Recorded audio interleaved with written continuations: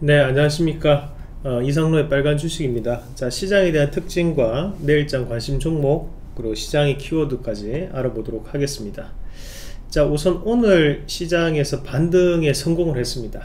자 반등에 성공을 하면서 코스피가 0.2% 코스닥이 0.1% 우리가 이제 이런 것들을 경상도 말로 이제 선낮 올랐다 이렇게 얘기를 많이 하는데 정말 조금 조금 이제 오른 거 T 정도만 내는 정도 그 정도만 지금 상승을 하는 모습이었고 어, 1170원을 가리키면서 어, 원하는 다시 한 번 더 약세 기 조금 나타나면서 어, 지금 미국 증시가 올랐기 때문에 불확실성이 소폭이나마 감소하는 모습이 나타났고요.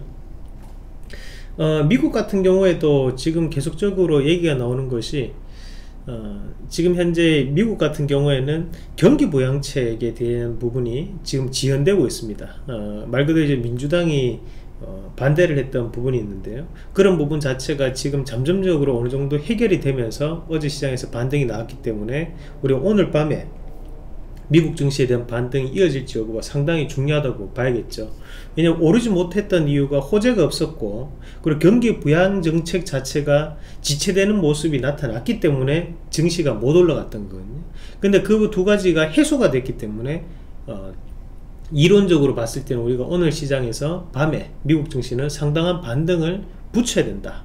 어, 그렇게 보는 거고 어, 오늘 이제 국내 증시가 이제 북한에 대한 이슈가 어, 이제 어느 정도 어, 일단락이 좀 되는 모습이었습니다. 어, 그래서 뭐 여러 가지 어, 정치적인 성향 자체를 떠나 가지고 우리가 이제 북한 이슈를 보면서 안에서 봐야 되는 것 중에 하나가 어, 일단은 이 김정은 위원장에 대한 사과는 상당히 어, 깔끔한 사과였습니다. 어, 대단히 미안하다. 물론 사람의 목숨이라는 것이 이런 미안하다는 말로 끝날 수 있는 부분은 아닙니다. 하지만 어, 어떻게 보면 이제 이 북한이라는 국가라고 봤을 때 거기에 이제 이 또 특수하잖아요. 근데 그 김정은 위원장이 대단히 미안하다. 어, 남녘 동포에 대한 얘기까지 어, 썼다는 것을 감안한다면 어, 우리가 이만한 사과는 없다. 솔직히 이 사과만으로는 인정해 줄 필요는 있어요. 우리가 사실 살면서 미안하다는 말을 하기가 힘들거든요. 특히 이제 국가 지도자 입장에서는 그런 얘기를 쓰기가 상당히 힘듭니다. 우리가 유감입니다 라든지 또는 본의 아니게 이런 얘기를 하지 미안하다 고맙다는 말은 우리가 살면서 상당히 쓰는 것이 인색해져요. 우리가 최근에 이제 정치를 보면서 이런 미안하다 고맙다는 말을 보기 어려울 정도로 어, 지금 이 김정은 위원장의 오늘 사과는 상당히 깔끔한 어, 사과였다고 저는 판단하고 그런 사과가 나타나면서 다시 한 번 더 이 남북 관계에 대한 어, 희망을 어, 계속적으로 시장은 이끌어 갈 수 있었다. 뭐 그렇게 볼 수 있습니다.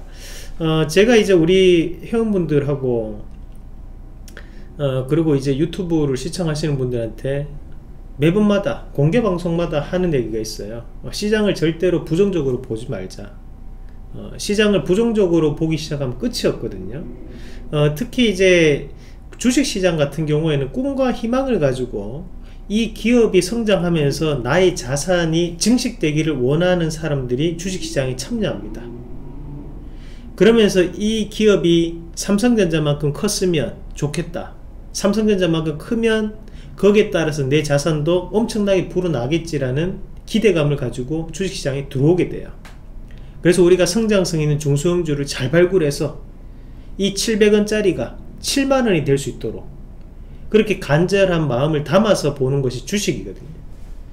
하지만 주식은 긍정적인 부분 자체는 허용되지만 부정은 허용되지 않습니다. 우리가 오늘도 돌발적인 전일 같은 경우 급등했던 것이 이제 빅텍과 스페코 같은 종목군이었어요. 오늘 차트를 한번 같이 보시면요. 자, 빅텍이 오늘 장 마지막에 이제 25% 하락 마감했는데, 어, 뭐, 우리가 오늘 가족분들하고 같이 리딩을 하면서 정규 방송 시간 때도 제가 여기 딱 11,500원 밴드를 터치를 하고 난 다음에 빠질 것이다. 딱 요 자리가 저항이기 때문에 그 자리까지 딱 터치를 하고 설거지 물량이 나올 것이다. 그대로 이제 맞아 들어가면서 이제 빠져버렸습니다. 어, 오늘 상승폭이 얼마냐면 23%고 하락폭이 26%예요. 종가가 25% 끝났는데 만약에 천만원 우리가 11,700원에 샀다면 오늘 하루 동안 마이너스 50% 떴어요. 오늘 천만원을 사가지고 오늘 500만원 날라가는 날입니다. 그럼 내일은 또 빠질 수 있겠죠. 또 빠질 수 있습니다. 주말에 남들은 편히 쉬고 여행 가고 놀고 코로나 때 집에 휴식하고 할 동안 나는 와이프한테 또 남편한테 말도 못하고 혼자 구석에서 하, 어떡하노 소주 한잔 하고 맥주 한잔 하면서 하, 애들한테 짜증내고 그럴 수 있는 날이에요. 왜냐? 오늘 하루 동안 마이너스 50%를 맞아버렸거든요 이상로가 부정적인 걸 하지 말라 했는데 그 말이 계속적으로 머릿속에 남을 수 있는 날이에요. 자, 시장은 항상 긍정의 에너지로 올라갑니다. 시장은 항상 기대감이 올라가요. 주식은 꿈을 먹고 살아요. 우리가 전쟁 나는 꿈을 원하고 또는 북한이 도발하는 것을 원하지는 않잖아요. 그런 꿈들은 우리가 확 코로나가 확산돼 가지고 사람 다 죽었으면 좋겠다. 이런 꿈들은 모든 사람들이 희망에 어, 반대되는 개념이에요. 반대되는 개념입니다. 그런 개념들은 연속적인 상승을 보이지 않는다. 어, 라는 것을 오늘 다시 한 번더 어, 확실하게 조금 깨닫는 날이 좀 되셨으면 좋겠습니다 어, 우리가 이제 4월 달에 북한 그때 김정은 위원장의 이슈도 북한발 이슈는 단기적으로 넘어갔었거든요. 우리가 어제 유튜브 영상에서도 말씀드렸던 것이 북한의 이슈는 돌발적이다. 이런 돌발적인 이슈는 지정학적 리스크는 길게 가지 않았다. 역사적으로. 심지어 김일성 어, 아니 김정일 위원장이 전 이제 전 위원장이 죽었을 때도 그때도 그 당일은 크게 시장이 흔들렸지만 그 다음부터 복구가 고정돼 버렸거든요. 그 다음 날에 김정은 위원장이 얼마 전에 뭐 사망설이 돌면서 얘기 나왔을 때도 그때가 이제 4월달 6이었어요. 마이너스 3.7%가 빠졌습니다. 4월 10일 날. 근데 그 다음 날부터 고점 반등 나오면서 아 이날입니다. 이날 마이너스 5%가 빠진 이날입니다. 이날 이렇게 변동폭이 생겼지만 그 다음 날 다시 한 번 더 돌려서 올리는 게 시장이었거든요. 이런 불확실함 속에서도 기대감을 가지고 올라가는 게 시장이라는 거죠. 그것을 우리가 다시 한 번더 깨달으셨으면 좋겠습니다. 그래서 일단 북한의 이슈가 지금은 아직까지는 긍정적으로 마감이 되는 모습이고요. 이런 상황 자체는 다음 주에 대한 상승 기대감을 좀 더 가질 수 있다. 그렇게 판단합니다. 그렇다고 해서 우리가 어, 남북 경협주를 많이 사야 되느냐? 그건 아니에요. 경협주는 예측이 안 되는 분야라고 했죠. 그리고 주식이라는 것은 항상 조정을 주고 상승하고 조정 주고 상승합니다. 그것을 감안했을 때 우리가 이제 아난티라든지 디아티아이 두 가지 보면 된다 했죠. 일단은 아난티라든지 아난티아이 아난티 같은 게 많이 빠져 있거든요. 이러면 반등 나옵니다. 자 그리고 대아티아이 같은 경우에도 반등을 좀 더 올려낼 거예요. 적어도 만원대 부분까지 한번 올려낼 건데 시간적인 부분은 걸릴 수 있어요. 마찬가지로 아난티 같은 경우에도 반등을 올려낼 건데 요 자리가 앞에서 봤던 자 요런 자리 12,000원 밴드까지 한번 올라올 겁니다. 대신 비중 조절은 철저히 해야 된다. 그리고 경협주를 풀 포트폴리오를 짜는 것은 상당히 미련한 짓이다. 김정우 위원장의 마음을 우리가 모르고 트럼프 대통령의 마음을 우리가 모릅니다. 항상 불확실성이 갇혀져 있는 경협주의죠. 그걸 생각을 하시면서 바라보면 좋겠다. 그리고 여기서 한 가지 더 얘기한다면 신원. 신원이 이제 개성공단 관련 입주 1호 기업이거든요. 어, 그런 모멘텀은 가지고 있는 기업들이다. 이렇게 정리를 하도록 하겠습니다. 그래서 다 살려고 하지 말고 경협주는 한 가지 정도 우리가 한 가지 정도만 비중 조절을 하시면서 대응을 하는 전략이 좋겠다라는 말씀까지 드리도록 하겠습니다. 자, 어, 그리고 이제 그 다음 이슈를 한번 같이 보실 텐데요. 사실 그 다음 이슈 같은 경우 디스플레이 사업에 대한 개편 장비주의 변화는 우리가 한번 언급을 했었죠. 23일에 했었는데 요거를 조금 더 자세하게 오늘 전반적으로 반등이 일부만 나왔기 때문에 좀 더 자세하게 한번 보도록 하겠습니다. 자 어, 정부는 23일 뉴스입니다. 어, 산화 삼성 디스플레이 등 15개 기업에 대한 사업 재편 계획을 승인을 했다. 그래서 1조 5천억을 신규 투자를 한다. 정부가 차세대 디스플레이 사업 진출을 위해서 어, 전환을 위해 전방위적인 지원을 나선다. 2017년 이후 3년 만이다. 자 산업통상자원부는 뭐 나오고 이제 디스플레이 사업 개편에 대한 부분 친환경 미래차 전환 부분 그리고 기타 산업에 대한 부분 포함이 됐다 라는 건데 거기 디스플레이 부분을 잠깐 보시면 자, 이 디스플레이 패널을 제조하는데 우리가 이제 LCD가 있고 OLED가 있습니다 그러면 이런 LCD와 OLED로 넘어가는 시점인데요. 아직까지 중국에서는 이 LCD를 많이 씁니다. 자 그러면 여기에서 삼성 디스플레이가 이제는 이런 LCD 분야에 대한 부분 말고 OLED 쪽으로 완전 다 넘어간다. 이 말이고요. 자 그러면서 거기에서 나오는 것이 자 여기에 LTC라는 기업이 나오고 자 그리고 인지 디스플레이 최근에 많이 올랐죠. 파인 DNC 그 파인 테크닉스 같은 기업들이 이제 사업 재편을 승인을 했는 회사들입니다 거기에 대한 내용을 좀 정리를 해봤는데요. 일단은 밑에 미래차랑 내용들이 있는데 그것은 추후에 나중에 다시 한번 더 소개를 해드리겠고. 자 삼성 디스플레이가 이제는 기존의 LCD 중소형 OLED에서 차세대 어, QD OLED 디스플레이로 넘어간다. 자 그리고 인지 디스플레이 파인 DNC 파인 테크닉스 LTC 이쪽이 지금 이렇게 넘어간다. 이런 얘기고요 그래서 우리가 앞서서 미래차 관련해 가지고 수소차 관련 사업 재편을 했을 때 그때 이제 나왔던 기업 두 가지가 하나가 이제 상아프론테크 그죠? 상아프론테크였고 또 한 가지가 일진 어 갑자기 이름이 생각이 안 나네요 아 이 인지 컨트롤스 어. 자 인지와 일진이 많아 가지고 헷갈립니다 자 인지 컨트롤스 같은 경우에도 그 얘기 나오고 난 다음에 주가가 이렇게 올랐죠. 그죠? 그 얘기를 우리가 미리 선매수를 해서 주가가 이만큼 여기 상한가를 가는 모습도 나왔죠 그때. 그래서 제가 그때 이제 그 그림도 한번 보여드렸었는데 자, 인지 컨트롤스. 저 그때도 여기에 우리가 했을 거예요. 잠시만요. 음. 자,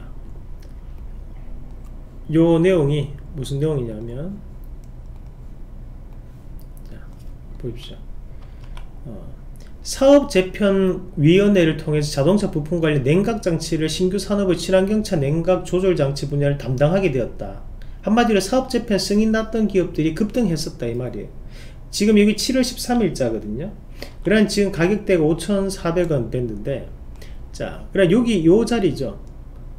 그러니까 여기 요 자리부터 시작을 해가지고 주가가 어떻게 움직였습니까? 꾸준히 움직이면서 여기 상한가를 가고 넘어갔어요. 5천원 분야부터 만원대까지 약 두 배 정도 올랐었거든요. 마찬가지로 지금 디스플레이 분야를 우리가 한번 볼 때도 앞서 그림이 나오는 지금 인지 디스플레이, 파인 DNC, 파인 테크닉스나 LTC 같은 기업들이 아직까지 많이 움직이지는 않았습니다.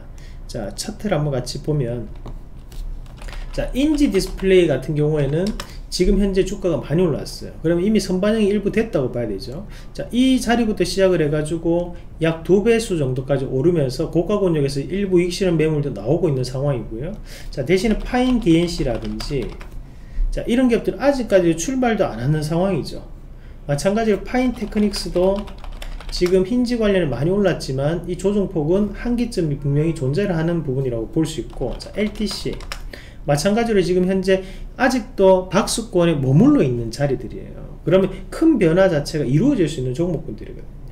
그럼 우리가 디스플레이 관련해서 장비주라든지 또는 반도체 장비주들도 많이 보고 있지만 이렇게 사업 재편이 승인되는 기업들도 뭔가에 대한 바뀌는 과정들이 나타날 수 있기 때문에 승인된다고 봐야 됩니다. 그럼 현재 삼성 디스플레이와 관련된 기업들도 우리가 눈여겨봐야 되죠. 왜냐하면 삼성 디스플레이는 상장이 안 돼 있거든요. 그러니까 그에 따른 관련된 종목군들도 지금 현재는 눈여겨봐야 된다. 그러면 삼성 디스플레이 납품이 들어가는 업체들 그러니까 거기에 라인별로 중소형 장비주들이 엄청나게 많습니다. 그 관련주들도 같이 눈여겨볼 필요가 있다. 어, 그렇게 정리를 하도록 하겠습니다. 자, 그래서 오늘 전반적으로 시장 자체가 반등을 조금 붙이면서 어, 그래도 어느 정도 바닥을 좀 잡아주는데요. 자, 지수를 잠깐 보시면 어, 일단은 저희 예상이 다 맞았습니다. 지금 어, 하루 이틀 정도 옆으로 행보를 할 것이다. 자, 일단은 하루 정도 행보를 지금 했고요.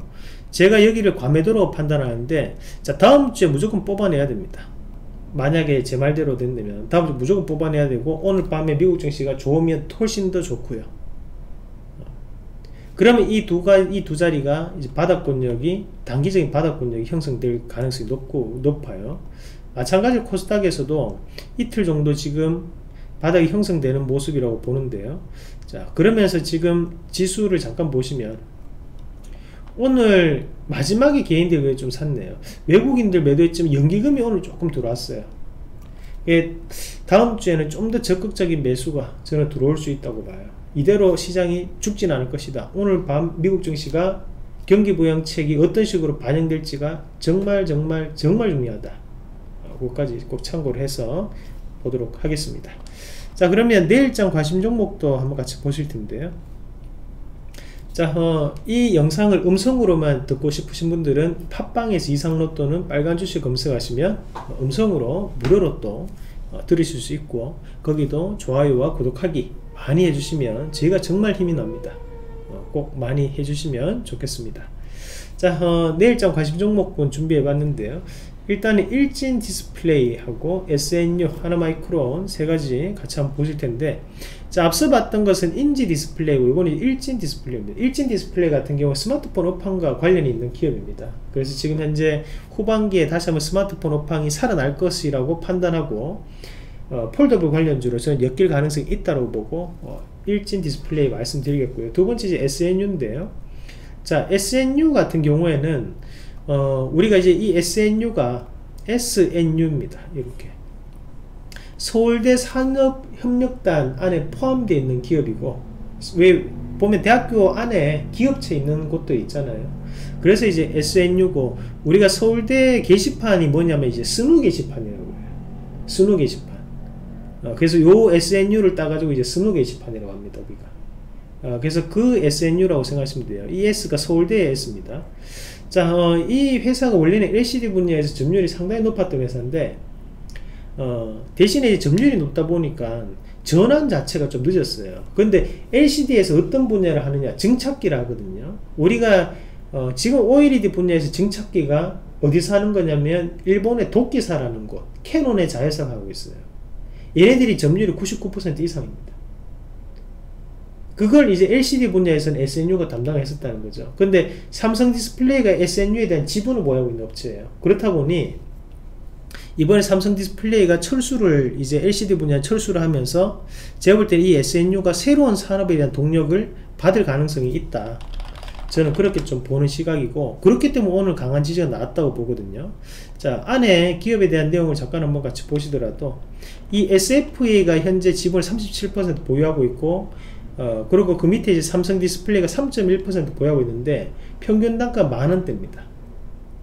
어, 그 정도로 상당히 지금 높은 가격대에 들어와 있던 물량이고요. 그런 부분 자체를 감안한다면 새로운 신규적인 투자가 이루어지지 않을까 어, 그렇게 판단해요.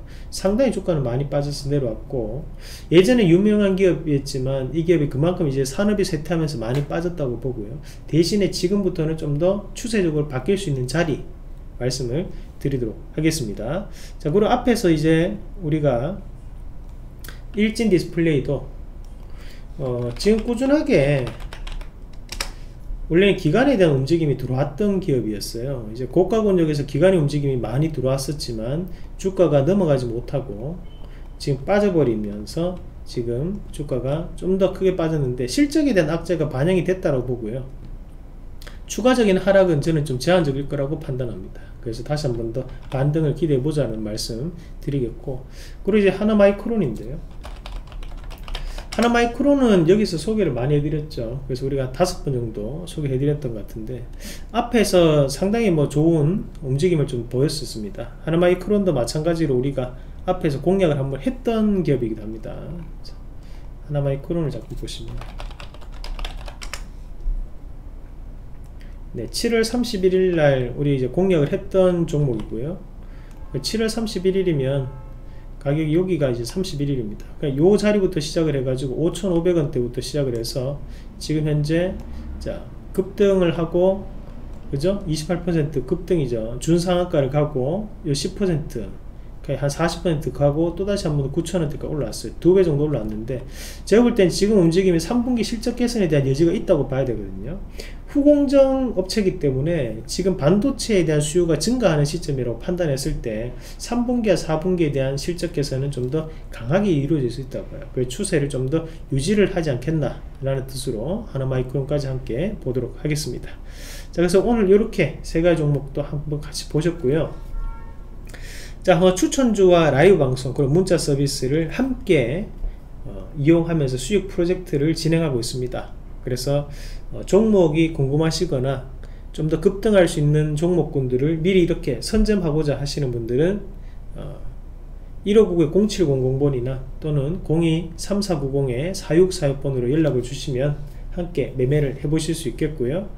자, 어, 저희가 이제 8월달에 했던 종목군들도 이제 9월달에서 급등을 했던 것처럼 9월달에 했던 종목군들이 또 10월달에 또 급등이 나올 수 있는 종목군들이 많습니다.